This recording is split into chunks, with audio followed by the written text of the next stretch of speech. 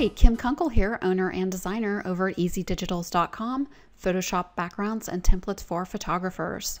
Today, I'm going to show you how to customize this jersey poster. So this is what it'll look like when it's finished. When we start, it's going to look like this.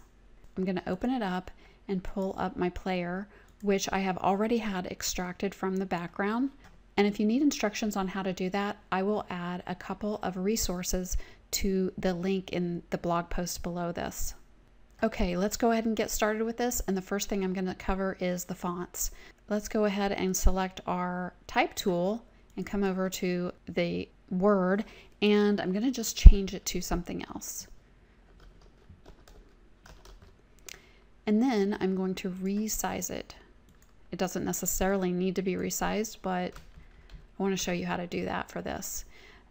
If I come and look at the character, you can see here that the tracking is set to 100. So you can adjust this. I usually do it with my mouse. I select the words and then I come over here and I just roll my mouse up and down and it changes so then I can kind of see what I want to do. Also, all of this type is at a 50% opacity. So you can change the opacity of this up and down. Again, I'm sliding back and forth this time to change it. And this is with Photoshop CC. So if you have a different one, you may need to change the opacity a little bit different. This is right now I'm using my my mouse or you can just type in a number there. So I'm going to change this back to 50 because I like it there. And the other thing you can do with the fonts is you can change it to a different font. So you can come up to any font. Sometimes I just start at the top and I just scroll through them. But what you do is you select it and then if you press Control H, it will hide that um, thing that like shows you what's highlighted and then it makes it easier to see. You come over here, select, and then start to arrow down and you can see every font that you have loaded. So this is a great way to try to decide on a font. And you can change it to anything you've loaded into your computer.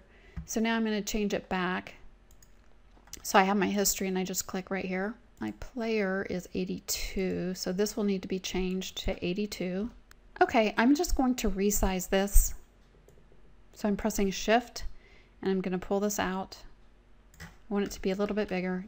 always remember to press enter. Okay, I want to show you how to change the color. So I select my type tool and I select, double click to select the type. And then you can just click this little box here and change it to any color. And then you can increase it, the opacity. So I just wanted to make sure and cover how to change the color. All right, let's go ahead and look at these backgrounds. I just want to show you what you can do with these. I'm going to turn off the background that's currently on, and I'm going to show you how to change this gradient. So you click the gradient and you can just double click in these little squares and change it to any color. Same thing over here. Just change it to any color you want. And that's how you change that. Or you can use a solid color and you just double click in the box and you just change it to whatever color you want. So let's go back to this color.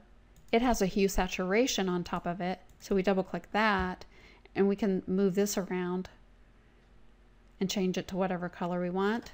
And then you can also increase the saturation or decrease the saturation. Okay, so let's go ahead and pull our player in. And I'm going to pull this off to the side and I'm going to grab, where's my, there it is. Now you come up to here to where it says your player here. If that's selected, the layer will go in the proper spot. Otherwise, you'll have to move it. So I'm just going to grab this thumbnail and bring it in. And then as long as you have auto select layer and show transform control selected, you're going to be able to drag this around as long as you can grab a hold of it. So let's go ahead and turn off the ball light right now. When you drag your player in, it may be too large or too small. And the way to resize it is to press shift and then resize it. If for some reason you can't see these handles, make sure that you have auto select layer and show transform controls on. If you still can't see these handles, come up to view fit on screen and it should show you these handles. Let's go ahead and undo that. So one thing you can do with this photo is you could add a hue saturation, right click, create clipping mask that will only affect the player. So sometimes these kind of shots like this, they look good desaturated just a little bit. So that's totally up to your taste.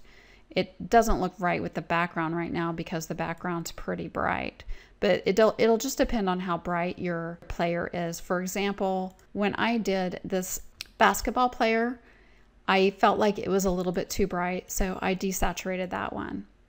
So it just depends on the on on which one you're working with. Okay, so back to this one. I want to now that I have the player in, I want to make some adjustments here. So I am going to move this where I want it. And then I'm going to take down that saturation a little bit because it was a little too bright for my taste. Okay, now let's do something fun with this player. Let's I'm going to go ahead and duplicate it by dragging it down here. And then I'm going to click on the mask and click apply. So now it doesn't have a mask. And then I'm going to come up to filter, blur, motion blur. And I kind of did this before, so it's already set up, but you can see a preview as long as this is checkmarked of how it's going to look. So you might like just a little bit of a blur, or you might like a lot of blur. And so let's say we just wanted a big blur, like the example that I had before. So this is uh, how that looks. And then on top of that, it doesn't have the blur right here. So I would come in and click this again and it'll do the exact same blur. So then it's blurred even more. And then on top of that, you could even come over to blur, just do a Gaussian blur and just kind of make it a little bit not so sharp. So that's one thing you can do. And then you can turn on or off this back glow depending on how it looks with your photo. Okay, now let's turn back on the ball light. Now the ball light has an inner glow, which makes it just a little bit yellow. So that's totally up to whether or not you would want to leave that on or use this at all. But it's just here for, you know, if you want to use it. And so I'm going to turn this and I'm going to make it kind of going with the blur right like that.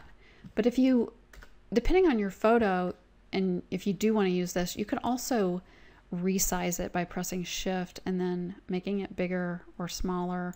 Or you could even blur it, or you could do a motion blur. There's a lot of things that you can just keep playing with it. Okay, so this poster is a 8 by 10 300 DPI. So you could definitely upsize it and print it at a 16 by 20 or maybe even larger. Photoshop has some pretty good upsizing capabilities. So um, I just wanted to let you know everything that you could do with this poster. I'm sure you can think of some things also additionally that you could use. Uh, one idea I just had is you could even put the original background in here and all this in between and just maybe have the opacity a little bit lighter so that would be a fun one to play with, just like lower the opacity of the original background and have this going on. So if you think you might want to use this poster, you can go to the freebie area on easydigitals.com. If you liked this tutorial, click the like button and share it with your friends. Subscribe to the Easy Digitals YouTube channel, and I hope you have a great day.